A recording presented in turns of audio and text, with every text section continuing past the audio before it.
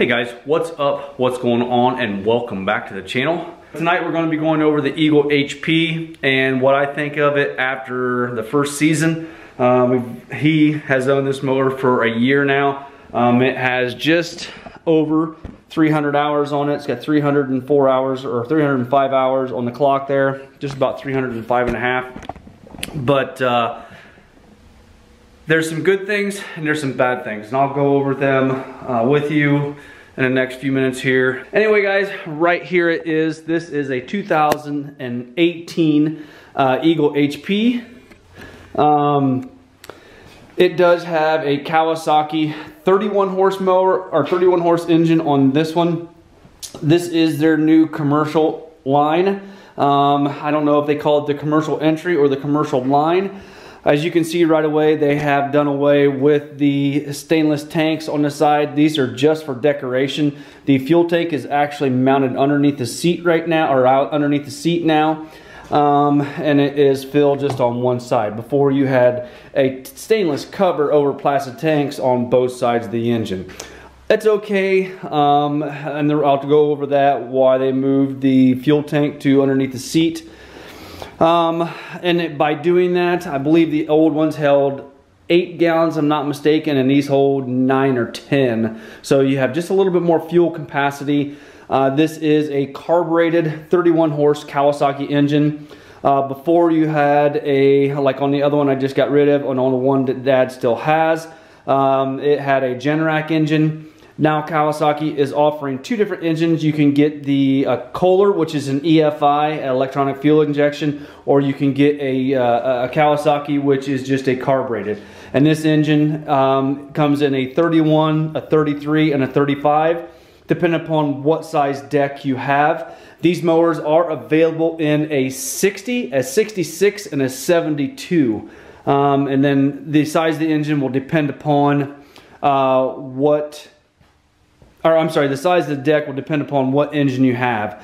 Um, it's a nice engine. I like it. Um, have had a lot of luck with the Kawasaki engines, had a lot of luck with the, the Generac engines. Um, I did not want the EFI engine for him um, just because he's 72 years old and he still works like he's 18 years old. Trust me, he is a working fool.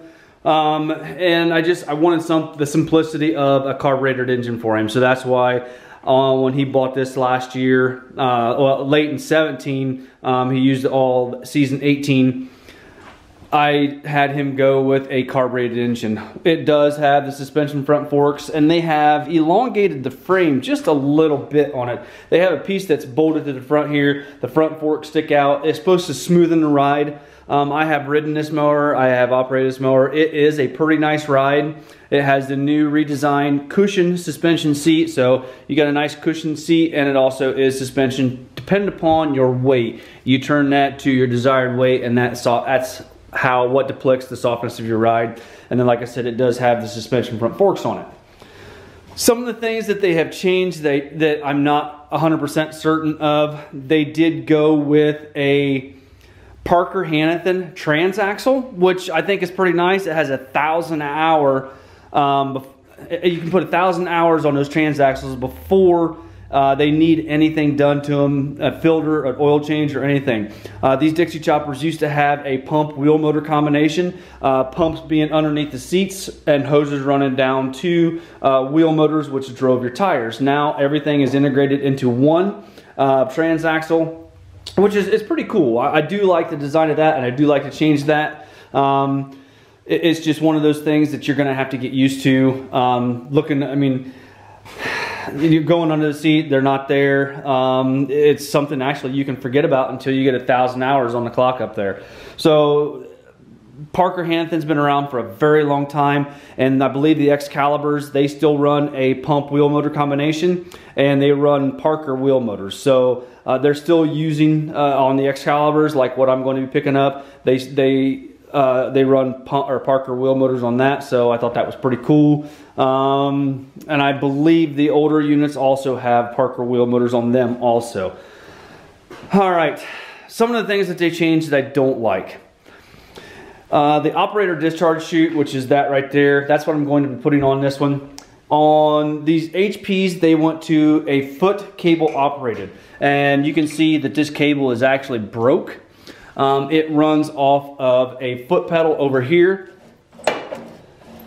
which is nice. I do like that instead of having a handle up there. But when it, grab something here. When you operate that discharge chute, when it's up or open, it would stick straight out kind of like that. So imagine driving by and that sticking out like that, you're gonna hit something. And then when you obviously, when you close it, uh, you hit that your cable, it just drops down like that.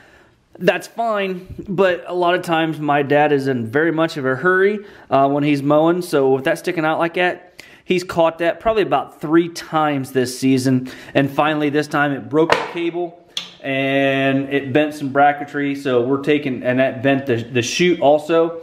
So I'm taking and cutting all of this off and just having a flat deck. And I'm actually gonna bolt one of the original uh, operator discharge chutes on there.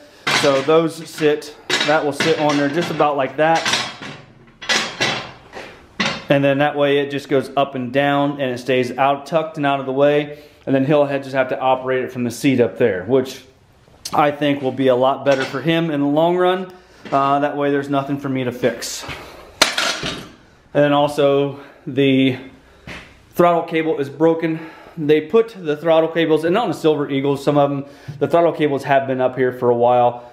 Uh, he had it sitting outside. It got some water in it. It froze. Um, because he does leaf cleanup and we go late into the, the winter months, um, into January sometimes as far as doing leaf cleanup. Some moisture got inside the cable down there. He went to push it up and snapped the cable. So uh, that was a fault of his by leaving it sit outside. Nothing to the fault of the machine. Um, it, it's just one of those things that happens. Uh, you know, they get used and they get used rough.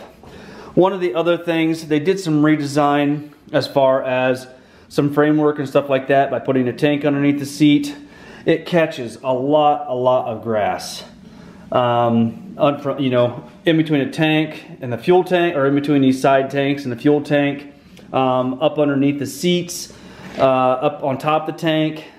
Uh, deck, it, it, they catch grass no matter what. I mean, you can't avoid that. One thing that I had him do was take these covers off. Uh, there is covers over these pulleys but I had him take those off. He has no problem with it because grass will get caught underneath there also. It's just one of those things that you think of and you want to remove or I have him remove so because uh, he's not the best at cleaning things up so it's just little things I have him do uh, to alleviate work for me. So those get removed so grass doesn't get caught under there. Uh, their deck adjustment, um, I like it. Sorry, I'm kind of jumping all over the place.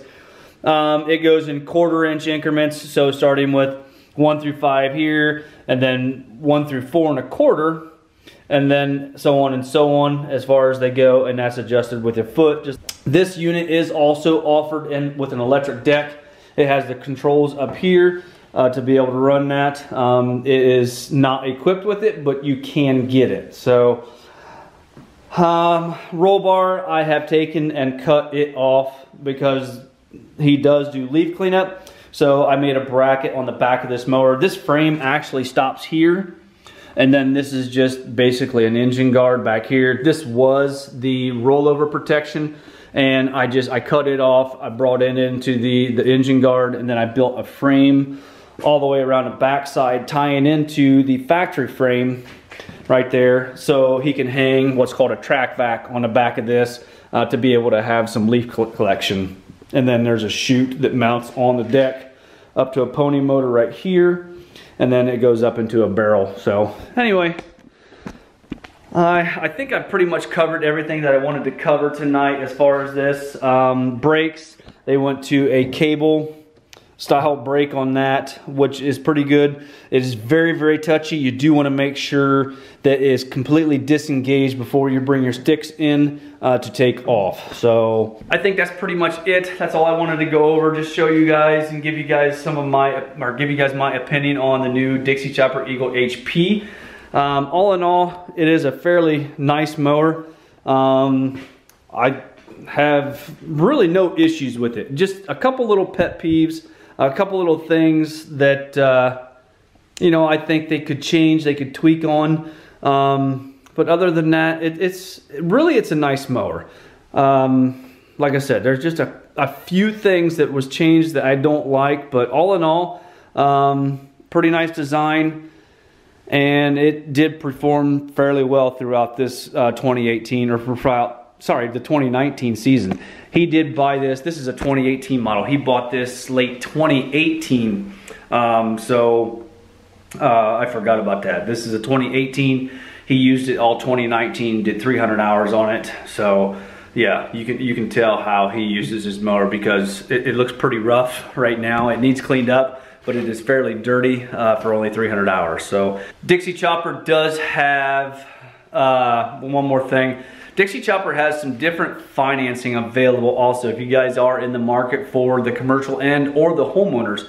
They go through a company called uh, Sheffield Financial and you can do 0 for 48, uh, 0 for 36, or 0 for 24 they also offer a um, buy now, pay later to where you can buy it now and uh, have no payments for six months. And then I'm not certain what the uh, the interest rate is after that um, or pay cash for it. I think this was like a $10,000 unit.